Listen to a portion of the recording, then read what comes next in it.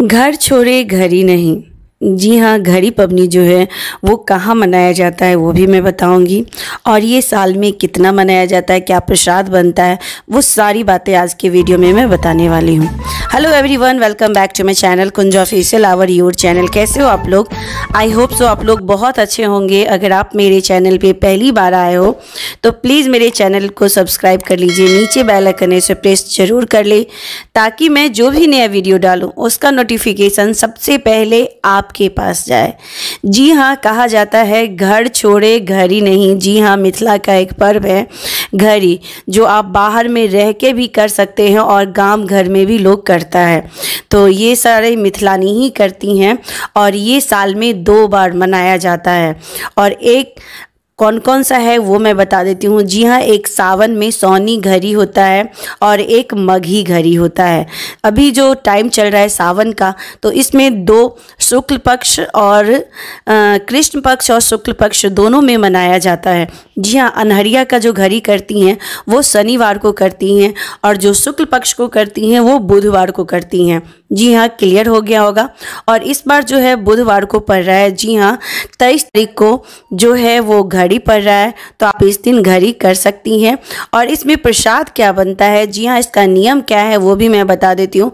तो कोई भी पर्व करने से एक दिन पहले नहा खाए किया जाता है। जो पवनैतिन होती हैं, वो एक दिन पहले जी हाँ नहा खाए करती हैं, बाल धोती हैं, नाखून काटती हैं, पूरी तरह से अपने आप को स्वच्छ करती हैं और दूसरे रोज़ जी हाँ प्रसाद बनता है। तो प्रसाद में जो है वो चने की दाल की पूरी बनती है।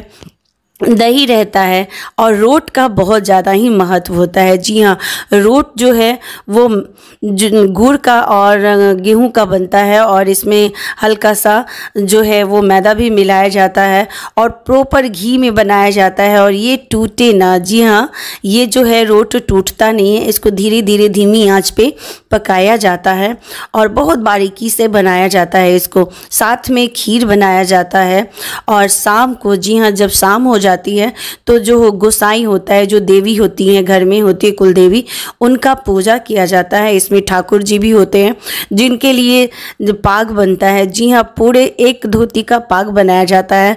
ये मैं पूजा इसलिए आप लोग को अच्छे से बता रही हूँ, क्योंकि ये मेरे मायके में होता है घड़ी पवनी, और इसमें जो है, दही का जी हाँ रात में शाम को पूजा होता है। उसके बाद ये जो पाव इसका जो प्रसाद है, वो घर से बाहर नहीं निकाला जाता है। जी हाँ घर में जो, घर के जो मेंबर हैं, वही जेंट्स और लेडीज़ सब कोई खाते हैं। ले, उसके बाद उनचालीस, जी हाँ एक सोरे पूरी बनाया जाता है और उसके बाद इसमें जी हाँ सावन में जो, सोनी घड़ी में जो है, वो गेनहारी का साग, हरा वाला गेनहारी का साग जो है, वो चढ़ाने का महत्व है और वो चढ़ता है मैं अपनी दादी को देखती थी बचपन में करते हुए, उसके बाद मम्मी को देखती थी। उसके बाद जी हाँ पूजा का जो नियम है, वो पूरी और खीर चढ़ाया जाता है और दही जो मिट्टी में मिट्टी के बर्तन में जमाया जाता है, उसको पूजा रूम में ढक दिया जाता है, सिंदूर, तेल, पिठार ये सब लगाया जाता है और जितने भी सुहागिन हैं, उनको जी हाँ तेल सिंदूर किया जाता है और जितने भी जेंट्स हैं, बच्चे हैं, सबको टीका किया जाता है। और पूजा करने के बाद 10 से 15 मिनट तक के लिए, जी हाँ वो जो पूजा का घर है, उसको बंद कर दिया जाता है। फिर तीन बार ताली बजाई जाती है और उसके बाद पूजा का रूम खोला जाता है। फिर उस रखा जाता है। कोई भी चीज़ में उस रख के के उठाया जाता है प्रसाद को। और एक प्रसाद जो होता है, जी हाँ सुबह में। सुबह में वही प्रसाद चढ़ाया जाता है और उसके बाद सारे लोग खाते हैं। तो वो चीज़ नेक्स्ट डे होता है और जी हाँ जब प्रसाद ज़्यादा हो जाता है तो उसको घर से बाहर नहीं निकाला जाता है तो उसको उसको जो है, उस प्रसाद को मिट्टी के अंदर गाड़ दिया जाता है। जी हाँ और अगर घर में गाय हो तो गाय को खिलाया जाता है और नहीं तो मिट्टी के अंदर दबा दिया जाता है। तो ये मुझे नॉलेज था घड़ी पवनी का। जी हाँ मैं अभी सोनी घड़ी के बारे में बताई। तो कैसा लगा आप सभी को हमारा ये घड़ी पवनी, घड़ी पर्व वीडियो? प्लीज़ कमेंट्स करके ज़रूर बताइएगा। अगर आप मेरे चैनल पे पहली बार आए हो तो प्लीज़ मेरे चैनल को लाइक सब्सक्राइब एंड शेयर करना बिल्कुल ना भूलना। Thanks for watching keep support